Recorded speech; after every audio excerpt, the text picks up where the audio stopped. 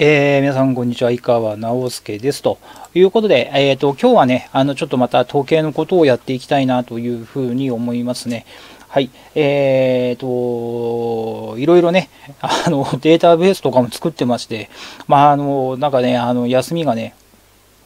まあ、休みっていうか、まあ、ほぼ休みの日は、まあ、こういう仕事をしてるんですけど、うん。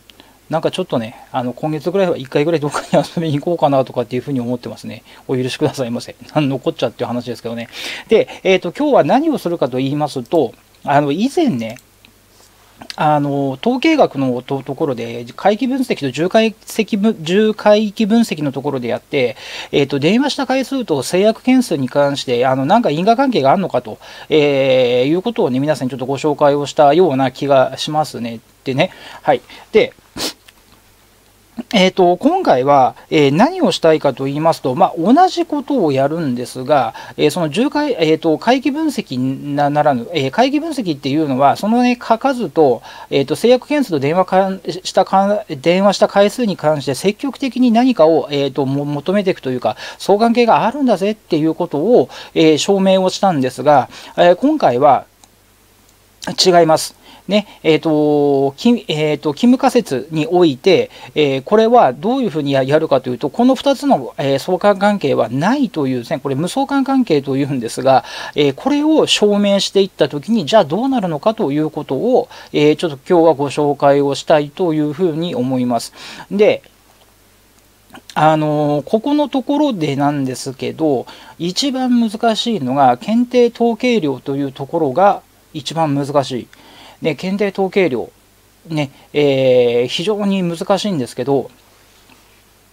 あの検定統計量って何っていうふうに言いますと、えー、口ではうまく説明できないんですけど、それはあのブログの方にあの詳しく書いてあるので、ちょっと読んでみてください。えー、統計検定量というものはどういうものかというと、まあ、僕のイメージとしてみたらでですね、あの、指標となるものだと思っておりますね。えそれを、え、ー、と、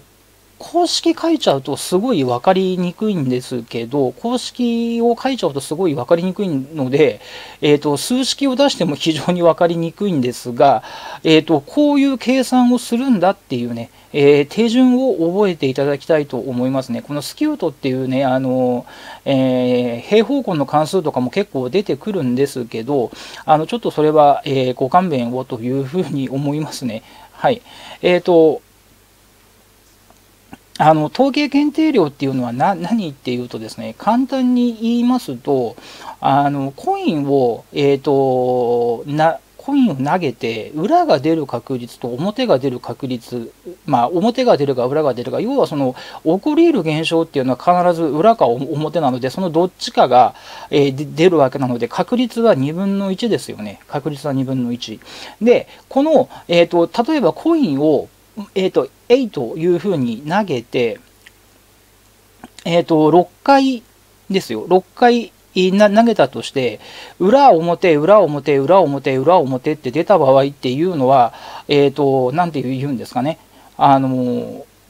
まあまあまあ当然のことじゃないですか。ところが、えっ、ー、と、表、6回とも投げて全部表が出た場合を考えてみましょう。そうすると、6回投げるので、まあちょっとブログのあの一部を抜粋するんですが、こういうふうに、ちょっとここ見えます ?2 分の 1×2 分の 1×2 分の1っていうのをこう全部で6回やって、これ全部で64分の1なんですよ、その確率っていうのは。で、これを、えっ、ー、と、1割64でやると約1.5%なので、えー、これはどういうふうに結論付けるかと言いますと、表が出やすいコインっていうふうに結論付けるんですよ。で、えー、このようなね、あの、このように、あの、検定に使われるデータ、つまり表が6回、裏が0回、会って、こういうことを統計検定量っていうことになります。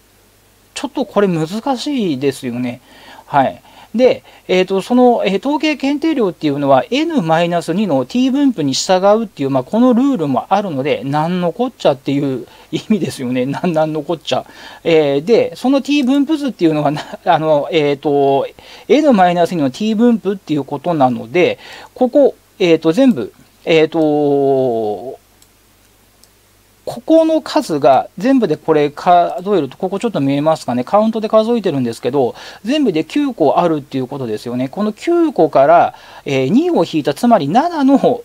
7という数字をまずもあの求めなきゃならないっていう、まあ、この辺がちょっと厄介だとは思うんですけど、あのこれね、あの覚えておいた方がいいいいですな。なんで覚えておいた方がいいかっていうと、相関関係があるっていうことを説明するのと、無相関関係と言いまして、相関関係はないっていう説明なんですけど、これはあの検定という手法を使う分だけ、無相関関係を証明した方が説得力が僕はあると思うんですよね。説得力があると思います。はい。そうですよね。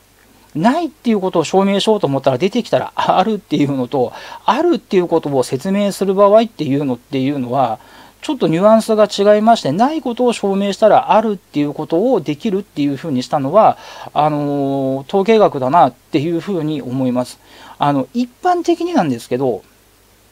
一般的になんですけどね、あのこれなぜ面白いのかっていうふうに、えー、思いますとあの、普通はないってことは証明できないんですよ。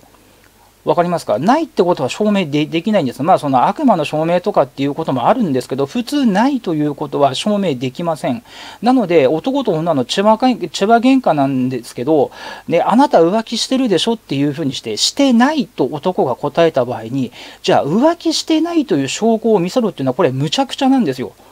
別に僕が浮気してたから言ってるわけじゃないですよ。浮気してないですからね。あの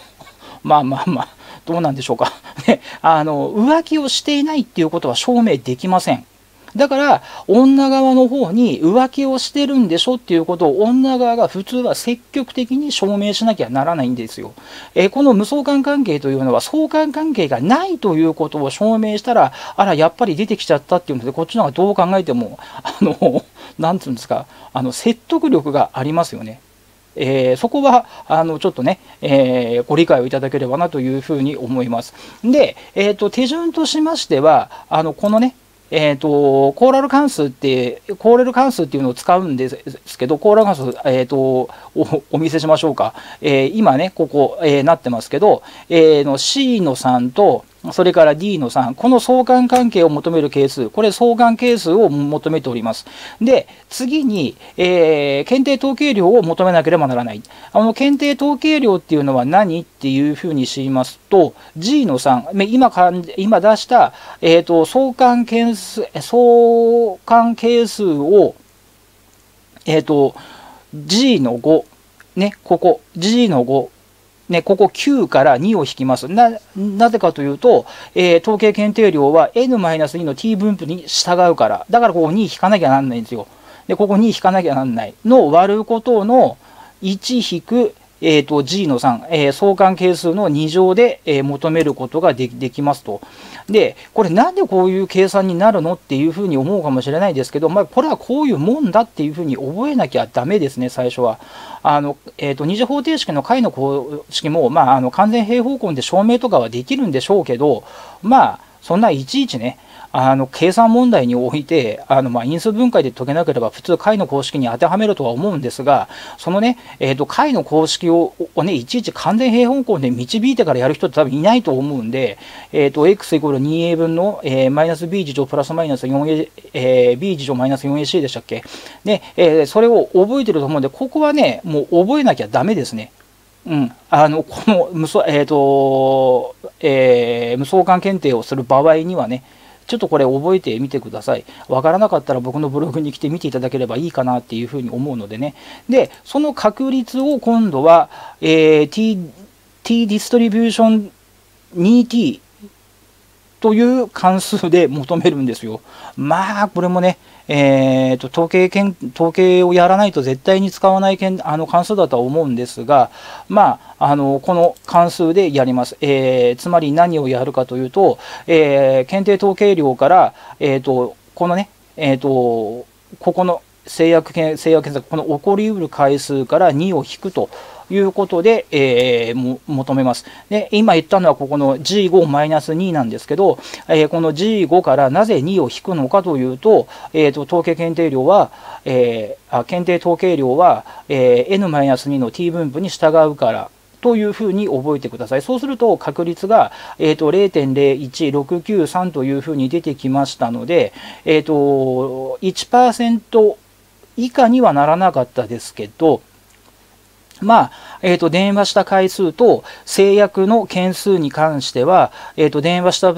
電話したらする分だけ、まあ、あの、制約件数が取れるんじゃないかという結論が出たということになりますね。なので、えー、義務仮説は、えー、このね、電話した回数と制約件数には相関関係はないっていうのが義務仮説なので、えー、確率は0.01%なので、えー、若干ではあるが、えーと、関係はありますよということが証明されたということになりますということですね。えー、統計ってめんどくさいですよね。あのこう過程をね追っていかなければならないので、あのやってればね分かると思うんですけど、この統計の手法っていうのもある意味 VBA とかデータベースを設計するとかっていうふうに似てまして、あのそういうことが好きな人っていうのは多分ねあの統計にはまりますね。あの僕もなんか、あのー、こう、この統計を勉強するまではなんですけど、まあ、結構ね、あのー、ビビリなんですけど、まあ、人生一か八か、ね、乗るか反るかっていうところがあったんですけど、やっぱりね、そういう人生をね、歩んでるとね、ろくな目に合わないですね。うん。ろくな目には合わないです。えー、ややっぱりあの乗るか反るかっていうのは長反博打の世界なのであの博打打ちっていう人はねあのすごいなんか金儲けの才能があれば儲かるかもしれないですけど普通の人っていうのは長反博打だって負けるんですよ。2分の1の確率を当てるってそれだけ難しいことなんですよね、うん、だから競馬なんてやったってね当たるわけがないんですよあんなもん。正直言いますけどね当たるわけがない。ねえっ、ー、と、えっ、ー、と、和グレンでもな、もでしたっけ、64分の1でしたっけ、あの、万栄競馬とかっつって、あの、あの組み合わ組み合わせがね、1枠から6枠しかないんですけど、それだって当たらないんだから。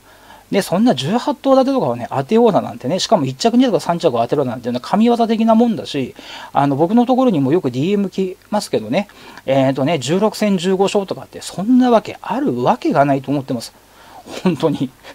あるわけがね、もう神だと思いますね。そういう人っていうのは。ただ、あちょっと話はそれますけどね、えっ、ー、と、それたんですけど、乗るか反るかのものに対してではなくて、そこに統計という手法を一つ組み入れてみてください。そそこに、えっ、ー、と、ロジカルな数的なエビデンスが生まれてくるということは、えー、今後皆さんのね、え業務にすごい役立つんじゃないかなっていうふうに私は思っておりますね。うん。で、えーと、しっかりとした、えー、データベースをアクセスで作り、そしてその集計を Excel で、えー、展開し、そしてその展開さ展開したその数的根拠を今度は統計というものを用いて、じゃあ戦略を練るっていうのは非常に重要な考え方だなっていうふうに思いますね。だから私も、ね、競馬でデータベースを、ね、アクセスで作り、そして、えーと、Excel で転送し、えー、レースを振り返り、えーね、そこで出してきた重要な数値っていうものを自分ででちゃんとデータベースにまた組み込んでいくということですね。あの、全く話変わるんですけど、これね、あの、アマゾンで買ったんですよ。5500円したんですけど、あの、レーティングを作る本っていうのがあるんですよ。レーティング指数ね。えー、いわゆる今、将棋のプロとかでも多分一番今、レーティングがいいのは藤井聡太さんかな。藤井聡太さんか渡辺渡辺明あ名人、まあ、2冠でしたっけ、3冠でしたっけ、だと思うんですけど、あの方たちで確か2200か2300ぐらいのレーティング数があって、そのレーティングが高ければ高いほど、あその棋士が勝つっていうのがあるじゃないですか。で、そういうレーティング指数みたいなのも、実は競馬ブックっていうところで出してるんですけど、そのレーティングを自分で計算して出す本が5500円で売ってたんですよ。だもうこれは買わなきゃなんねえだろうと。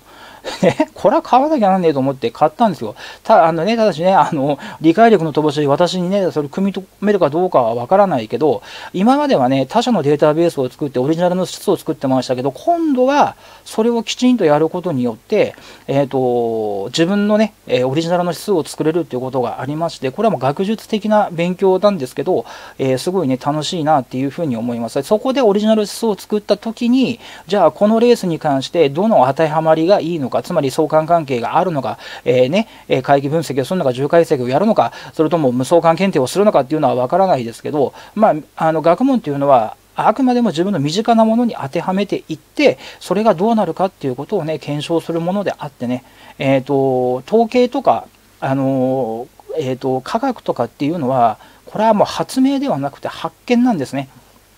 発見。ね。えー、だから物理っていうのは自然界の現象を、えー、全て、えーと、数式で説明するというふうなものだと僕は思っています。それは発明ではない、発見ですよね。えー、皆さんの会社もちゃんとした統計の分析を、えー、あの行うことによって、無駄なもの、えー、必要なものっていうのは、それはわかると思います。それは発あの発明ではなくて発見だと思うんでね、えー、舌足らずのあの内容かもしれませんが、ぜひとも皆さんね、あの統計を自あの自分のかあの会社のね、数値に当てはめてみて、ちょっと分析をしてみてください。それで業務が改善されたとしたら、多分いろんなところで統計をやりたくなると思いますね。はい。えー、ちなみに、えーと、風が吹けば桶屋が儲かるっていうね、えー、この数式だって統計学で出しちゃったりすることはできますが、今日はそれは説明はしないですけど、それはまた次回何かの機会があれば説明させていただきたいというふうに思いますね。えー、それで、えー、まあ、今度はね、あともう1回ぐらいこのことするのかな、もう1回がもう2回ぐらいやったら、今度はね、あの分析のね、アドインツールをやって、こういう風でこうでこうでこうだぜっていうことをね、ちょっと皆さんと一緒にやっていきたいなというふうに思います。そして当てはまったものがどういうものかっていうのは、僕は競馬しかあの統計使ってないので、ほら、競馬でできたでしょっていうことをね、やったらね、あの競馬に興味のない方っていうのは、あの全然あの意味がないかもしれませんけど、競馬でも当てはまるんだったら、じゃあこういうことにでも当てはまるんじゃないかしらと、えー、そういうね、気づきを持っていただきければ嬉しいかなというふうに思いました。はい、それでは今日はこの辺に失礼します。さよなら。